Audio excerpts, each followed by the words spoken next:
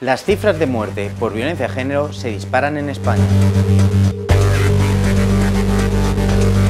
Este 2023 será tristemente recordado por las mujeres que han sido asesinadas a manos de sus parejas o exparejas.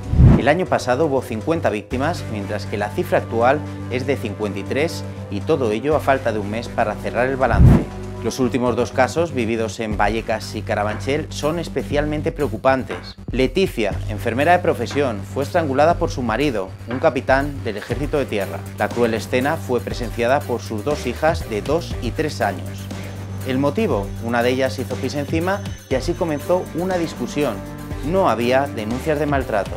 Un día después, a pocos kilómetros de diferencia, fue asesinada Tatiana y su hija Abril de tan solo 5 años. Esta joven peruana denunció por maltrato a Anthony, su expareja, todo ello a pesar de su padre, que no quería que su hija diera el paso de denunciar. Los celos fueron el detonante de este brutal crimen. El autor se intentó suicidar, pero los sanitarios consiguieron salvar su vida. Son las últimas dos historias de una lacra que sigue vigente en la sociedad. Aún quedan por delante uno de los meses que tradicionalmente son más violentos en este tipo de crímenes.